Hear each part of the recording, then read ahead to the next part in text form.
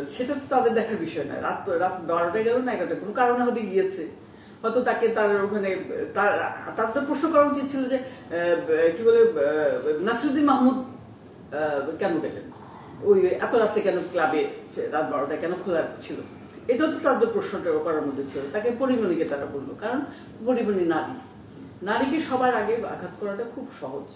নারীরা এখন নারীর বিরুদ্ধে। আমি কয়েকজন মহিলার ইয়ে দেখলাম। তাদের আমার কাছে মনে হয়েছে যে ইন্ডাস্ট্রিরও কয়েকজন যেমন অরুণা বিশ্বাস, যেভাবে যে হেট মানে হেটনেস প্রদর্শন করে সে কথা বলেছে, তাতে আমার মনে হয় সে জন্য যুদ্ধ করতে নেমে গেছে। এত অর্থ তো সবার জন্যই নিরাপদ না নিরাপদ না।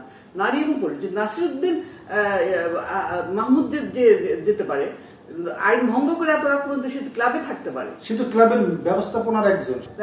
হোক সে ব্যবস্থা করে কিন্তু তারপরে তো তার একটা নিয়ম আছে একটা ক্লাবের তো একটা নিয়ম নীতি আছে। রাত এগারোটার মধ্যে কেউ থাকে না। আসলে ও খুব টমাটাইজ হয়ে গেছে ঘটনাটা পর।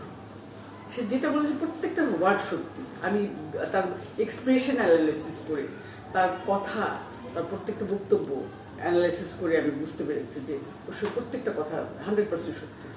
এবং এই ধরনের ঘটনা তো আরও ঘটে।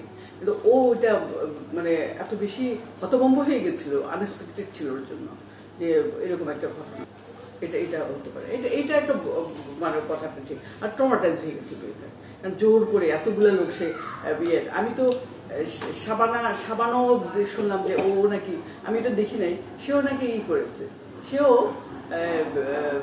নাকি পরিমণিকে বিরুদ্ধে কথা বলেছে? আমার আমি জানি না কতটুকু কথা। কিন্তু আমার কথা মেয়েরা যে মেয়েরা ইন্ডাস্ট্রিতে থেকে গিয়েছে তারা তো জানে ইন্ডাস্ট্রির বিষয়টা। তা আরেকটা মেয়েকে এরকম ভাবে বললে পরে পরবর্তীতে মেয়েরা শিক্ষিত মেয়েরা তো আসবে না।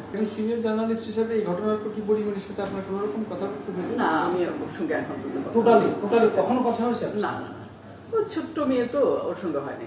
কিন্তু আমার সঙ্গে এর আগে সাবান আবার সিনিয়র অভিনেত্রীদের সঙ্গে অনেক জায়গায় দেখা হচ্ছে কথা হয়েছে ইয়ে হয়েছে। কিন্তু ওর ওর তো এখন তো খুব জুনিয়র মেয়ে তো। আমি তার নিজেও এখন ফিল্ম জার্নালিজমটা করছি না। সিনিয়র সাংবাদিকতা করছি না।